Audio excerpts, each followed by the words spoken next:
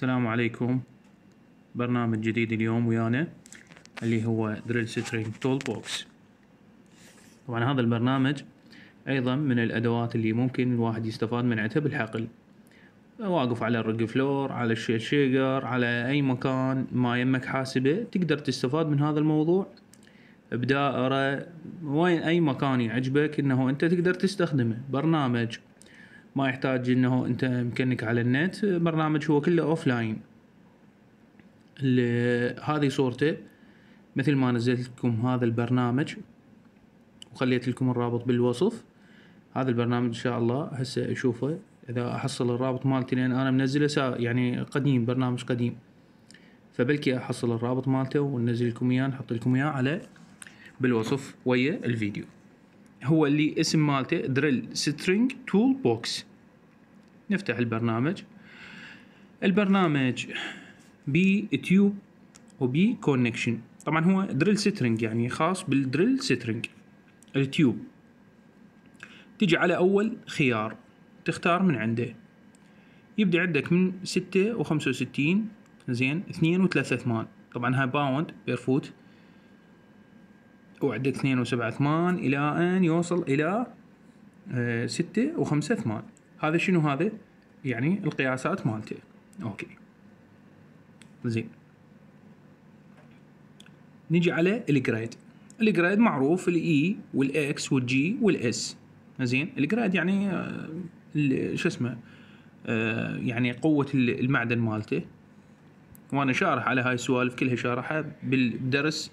سابق قديم كلش قديم يعني قبل سنة تقريبا أو أكثر من سنة. موجود. drill string وشلون حاكي على drill pipe وعلى ال drill collar وعلى ال tubing وعلى ال casing وعلى كل ال tubular.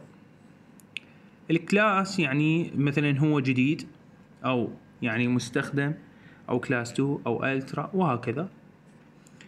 فمن تختار هذه مثلا هسه نختار خلينا نقول نختار إنه خمسة. زين؟ G مية وخمسة لا خلينا نقول هو E خمسة وسبعين. premium class two خلينا نختاره. زين خلينا نختار premium خلينا نختار new. شوف بما يعني بمجرد إنه تختار هاي ال class ماكو انتبه لهذه الأرقام. زين الأرقام اللي هو ال tensile وال torsion هسه خلينا نشوفهن. هسه هذا class 1 new. 530 و 144 pound. tensile capacity يعني اللي, شو اسمه الشد مالته. وهنا ال torsion الالتواء capacity مالته. إذا نختار مثلا ultra أقل يكون. إذا نختار ال premium راح يكون أقل. إذا نختار ال class 2 راح يكون أكيد أقل. فهكذا. أه طبعا ال grade إذا مثلا E ال X 95 أكيد راح يكون أقوى. ال G 105 راح يكون أقوى. وال S راح يكون أقوى. فأنت تحدد خياراتك. طبعا هاي إذا قلنا new فشوفوا وين يوصل. إلى 954 ألف. 954 فارزة 259 pound. وهكذا يعني هذه الخيارات الموجودة بي. إذا تريد تعرف الشد وال torsion مالته الالتواء هذا طبعا منو يحتاجه؟ يحتاجها مثلا أنت لل شو اسمه؟ تحتاجها للتصميم تحتاجها لل make up torque. المهم. ال connection هسه حكينا على ال tube نجي على ال connection مثلا ال connection أنا عندي NC إيش قد؟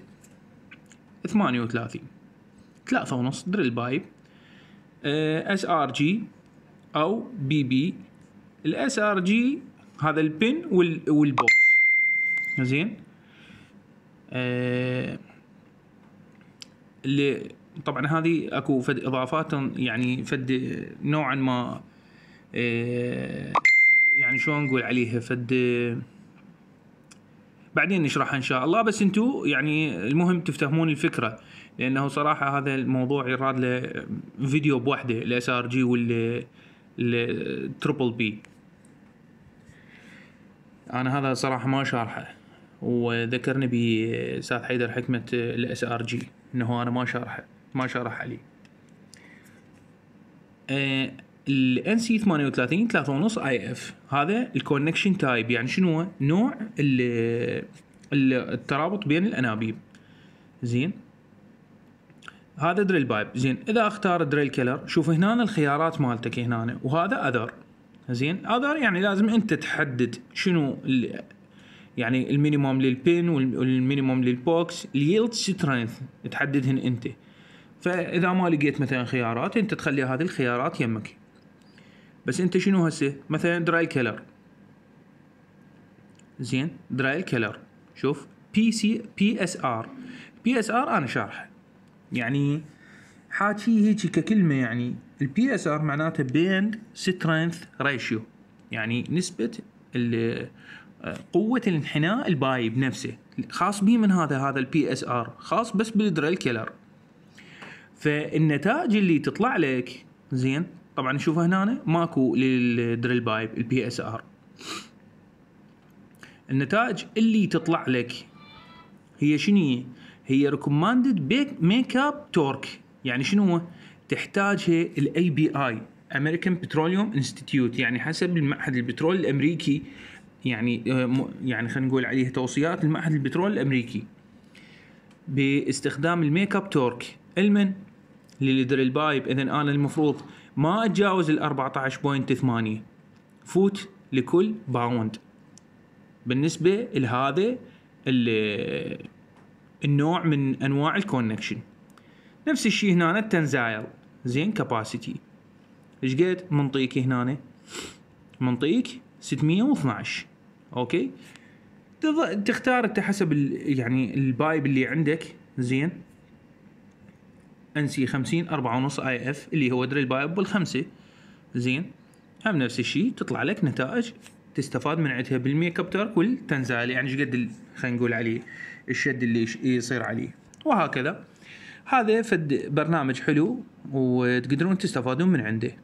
وأكيد راح يعني أنزله على القناه وت...